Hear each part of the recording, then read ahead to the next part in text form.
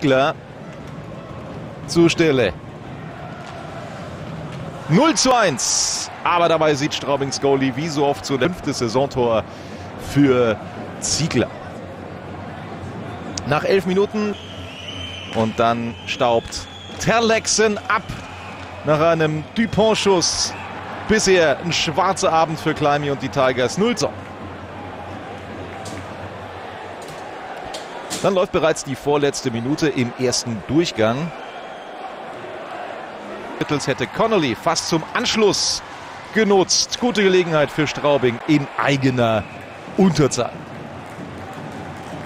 Die Gäste sind nach zur 35. Spielminute und dann relativ aus dem Nichts der Anschluss der Gastgeber.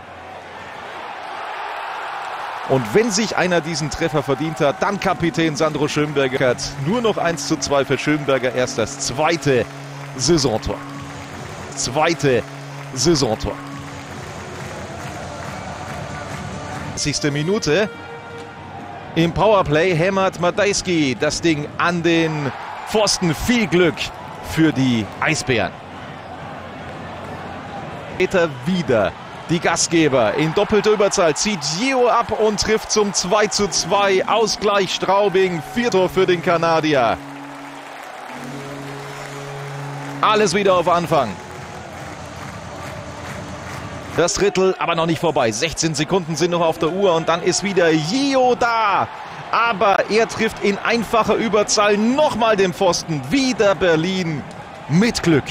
Richtung zwei Minuten sind im letzten Drittel gespielt und Rankel sorgt für eine eiskalte Dusche am Pulverturm. Die erneute Führung für die DL-Saison.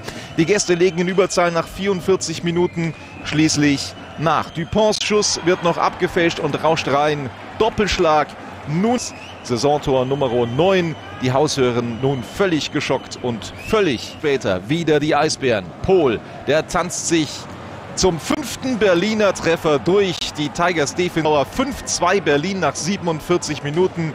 Siebenmal hat Pol nun bereits getroffen. Mahacek sorgt mit seinem Tor nach 49 Minuten für einen verfrühten Feierabend für den Straubinger Gonadier.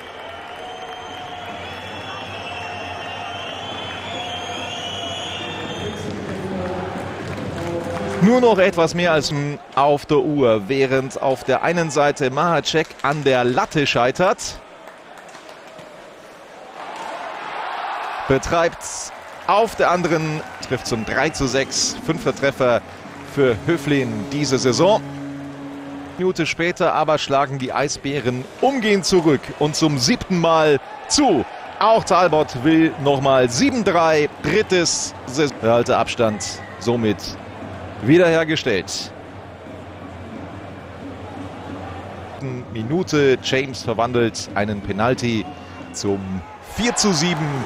Elf Tore, elf. Die Hausherren lassen sich binnen sieben Minuten völlig zerlegen und kassieren eine auch in dieser Höhe verdiente Niederlage.